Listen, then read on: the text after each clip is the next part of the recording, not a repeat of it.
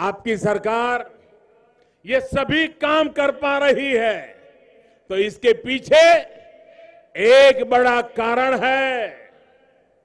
आपको मालूम है, ये सब कैसे हो रहा है? आप बताएँगे? ये सारा इतना पैसा हम खर्च कर रहे हैं, इतनी योजनाएँ चला रहे हैं, पहला की तुलना में ये कैसे हो रहा है भाई? क्या कारण है? बता पाएँगे आप? मोदी नहीं।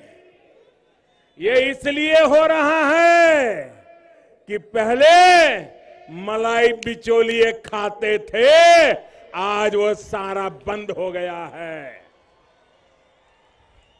चोरी लूट की दुकानों को ताले लग गए हैं गरीब के हक का गरीब को मिल रहा है और इसलिए पाई पाई का सदुपयोग हो रहा है।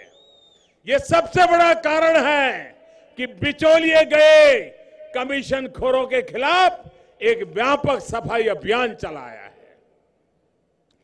जब मैं शहर की सफ़ाई की बात करता हूँ, गाँव की सफ़ाई की बात करता हूँ तो मैंने सरकार में भी सफ़ाई चलाई है। दिल्ली में सत्ता के गलियारे से लेकर किसानों की मंडी और राशन की दुकानों तक बिचौलियों को हटाने की मुहिम ये चौकीदार ने छेड़ के रखी है।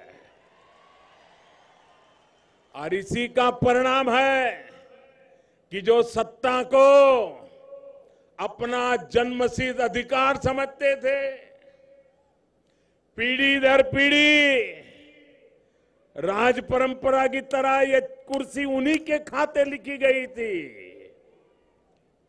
यही वो समझ बैठे थे।